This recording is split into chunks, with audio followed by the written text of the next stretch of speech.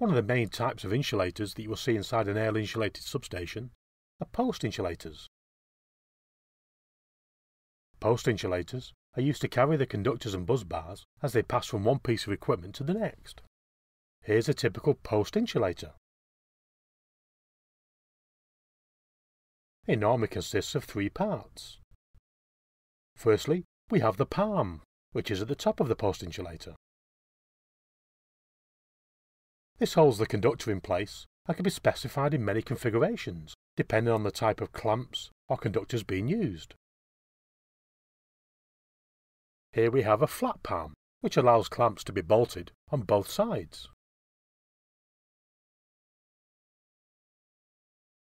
We then have a spigot type palm, which allows the clamp holding the conductor to be fixed at one point.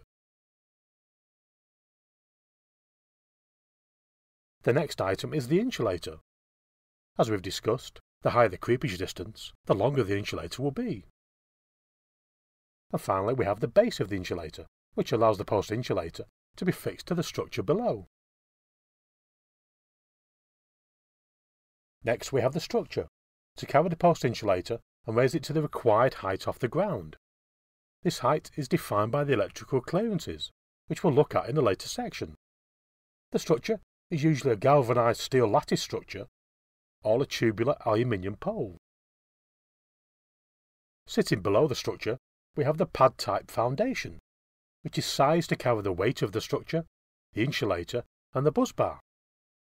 The foundation also needs to handle the mechanical forces exerted on the bus bar. As we've seen in the previous section, these can be significant.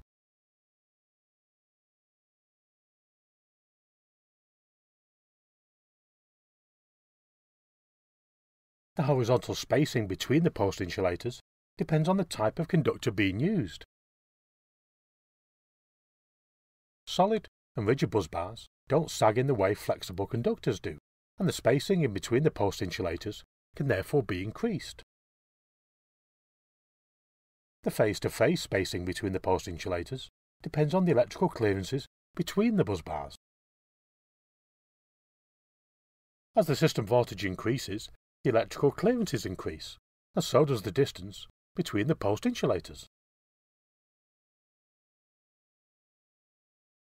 Most post insulators are made of epoxy resin or ceramic materials, which provide the insulation level required and the physical strength to carry the conductors during normal and short-circuit conditions. Line insulators can be made of glass, ceramic or polymer material, and they are designed to carry the tensional forces exerted by the line conductor.